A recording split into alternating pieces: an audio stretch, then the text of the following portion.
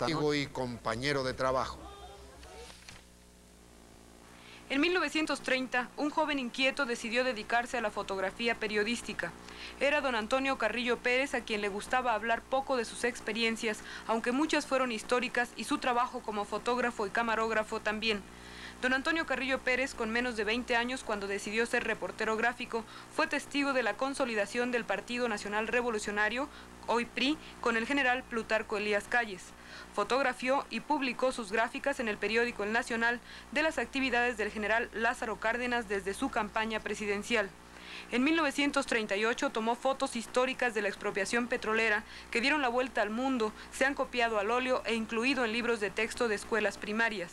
Ese mismo año tomó las fotografías más importantes del levantamiento en armas del general Saturnino Cedillo. Su lente captó las imágenes de la llegada y el asesinato de León Trotsky.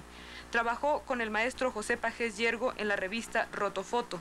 Entre todo esto fue fotógrafo casi personal de los expresidentes Ávila Camacho, Miguel Alemán Valdés, Adolfo Ruiz Cortines y Luis Echeverría.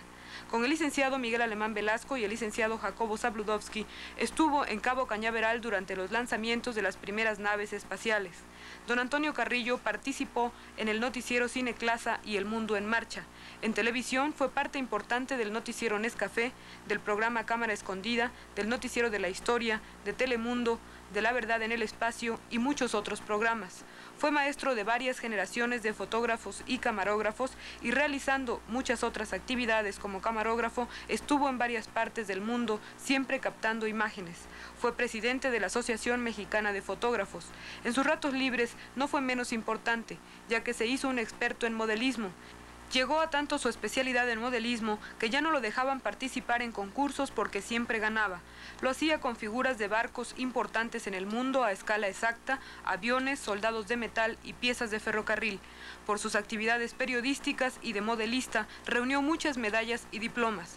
Don Antonio Carrillo, después de esta fructífera vida, dejó de existir esta madrugada a los 73 años de edad, víctima de un paro cardíaco. Informa en 24 horas Ana Cristina Peláez.